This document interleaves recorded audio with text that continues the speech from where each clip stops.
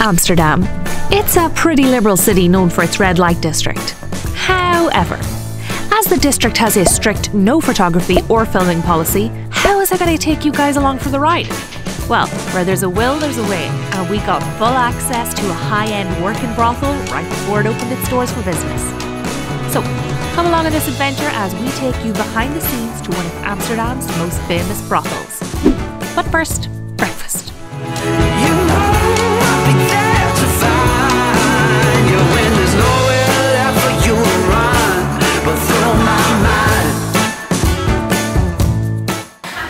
so we have come to the Pancake Bakery because Lost LeBlanc recommended this and also I've seen a lot of vlogs of people who really, really said this was like the best pancakes in Amsterdam. So I've gone for an apple cinnamon one and Lee has done like a veggie savoury one with chorizo cheese and tomatoes.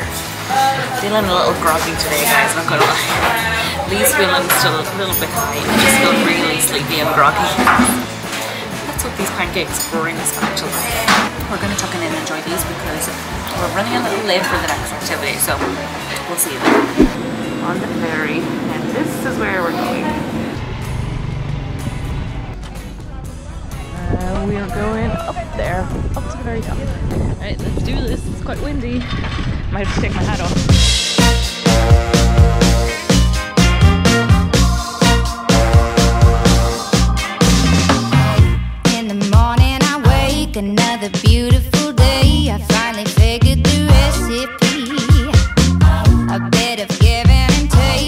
Life it is what you make it. Nothing petty can get to me.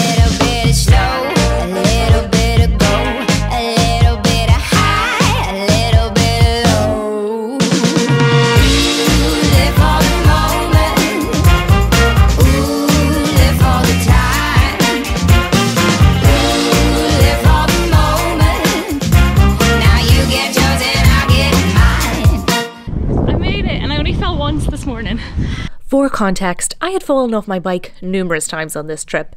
But anyway, we met up with our friend Tony and his lovely girlfriend Marika, and we hit up NDSM's IJ-Hallen Flea Market. It's €5 Euro to enter, and it's Europe's biggest flea market. So let's check it out. I'm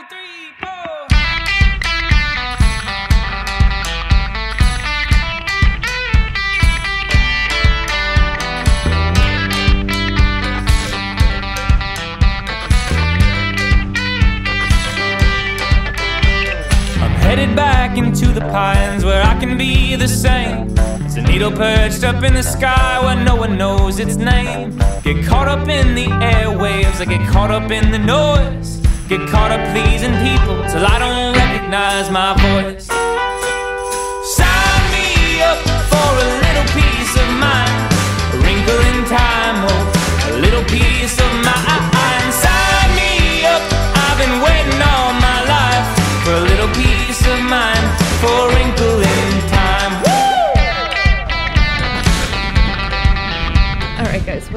Was the IJ-Hallen Flea Market. Just to let you know that they don't take card at all, it's cash only. Me and Lee didn't have cash, couldn't find the ATM, so Lee didn't get his sneakers. And it's mostly, there's a wee bit of furniture, but it's mostly clothing that you'll find there. So if you are a thrifter and you love a vintage store, you'll be in your element but you need the patience of a saint to go through everything. It's, and it's absolutely massive. But it's a lovely, lovely area around here by the sea. And now we're just going to hop on the ferry back, get a coffee with Tony and Marika before the rain sets in, and then later we're going to go somewhere that we don't. Let's just say we're going to go somewhere we wouldn't normally go. It'll be a first. So come and join us. We're doing plenty of firsts on this trip.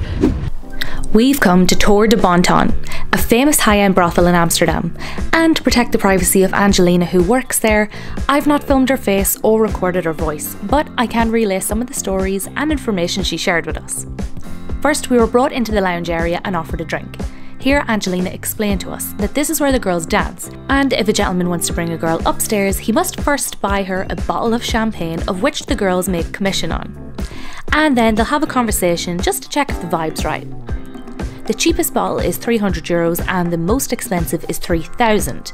And then for every hour upstairs, it's another 300. Now, due to COVID restrictions, Angelina couldn't personally walk us around each room upstairs, so we got full access to roam the upper floors and explore all by ourselves.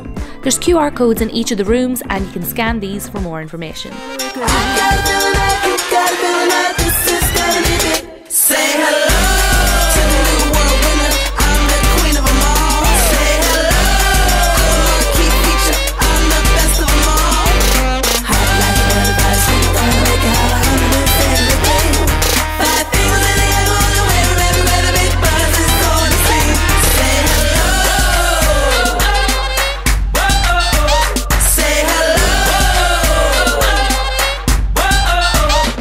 Once we'd finished upstairs, Angelina told us some pretty crazy stories about working in other brothels, and she answered any questions we had with complete honesty and transparency. Fair play to Angelina though, she saved all her money from working here and started her own beauty company, of which she is now the creative director. And every now and again, she likes to come back here because, well, she enjoys the work. Lastly, we finished up with one final epic photo op where we got to spin on the pole and fire a money gun. I was living my best Cardi B music video fantasy and I loved every second. Guys, it's absolutely lashing. Uh, that was the brothel tour with Angelina. It was really, really enjoyable. Now we're just going to head somewhere and get some drinks because we have Tony's house party at 8 o'clock. And I don't know if I'm going to bring you guys with me because, you know, you're at your friend's house. He probably doesn't want like people on YouTube knowing where he lives. Alright, let's go get some drinks. Alright guys, that's where we're going to call it a day on this video because I hadn't realised that my lens wasn't properly attached to my camera, so all the remaining footage came out like this. Anyways, thanks for watching and I hope to see you in the final video of my Amsterdam series where we go on a canal cruise and visit Anne Frank's house. Bye!